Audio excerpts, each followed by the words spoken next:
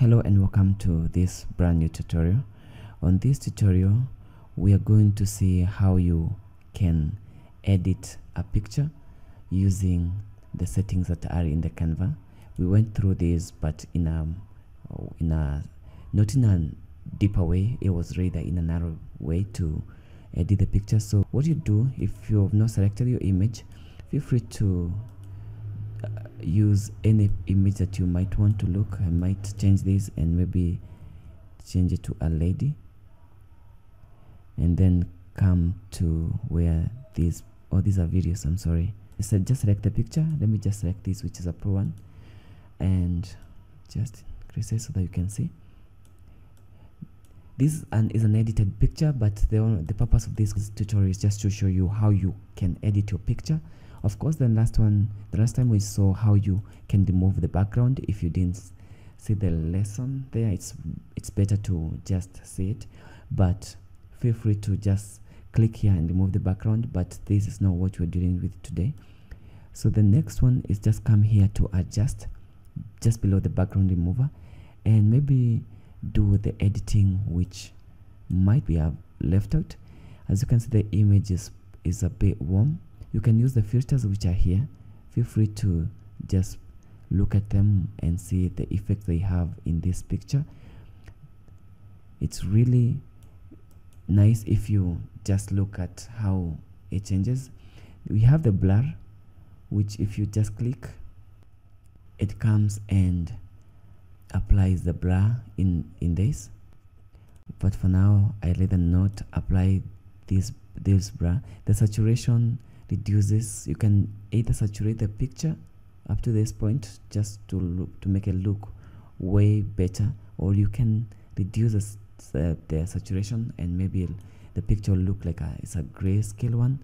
And we have pretty much things which are left which are here down which you i encourage you you can just look at them as as you uh, peruse and see the effect they have like increasing and reducing the shadows.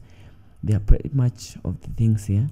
You can if it's photogenic you can apply these effects. And once you apply the effect there are knobs here which are kind of controls which you can click and do the adjustment which this photogenic had effect. And then if it's just good you click apply you can always apply smart mockups which we are going to see in a different tutorial.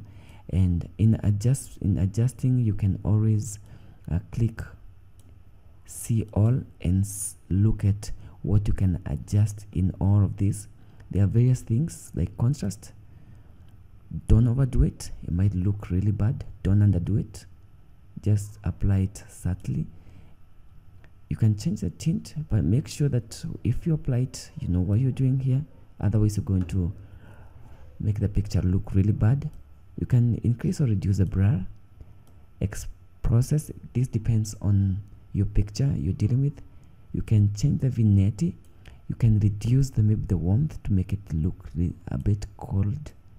You can increase the clarity which as you can see if you zoom it closer clarity. If you increase the clarity it will look really bad. So you have to be subtly apply these things. You can reduce the highlight a little bit because of the sky. Then of course the, sh the shadows. You don't have to apply all this effect. This is just for demonstration of the things that you can apply in an image.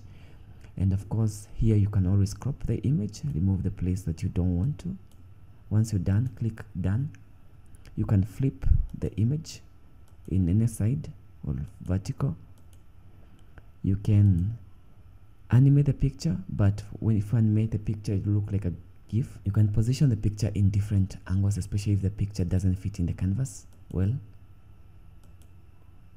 The next one is just to deal with the transparency. By reducing its transparency it kind of reduces everything then you can attach a url in this image if someone clicks and it would redirect them to a certain website or url then the next one is to lock the image whenever you feel like you're done and that's it.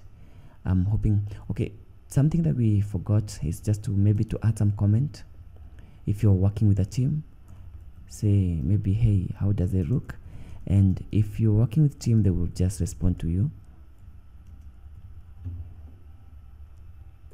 if you click comment there will be a place for someone to reply and you can add a sticker as well. So that is how you you can communicate using uh, this platform. And i'm sure that you've learned something from this. I'm looking forward to seeing you in future. Until next time bye bye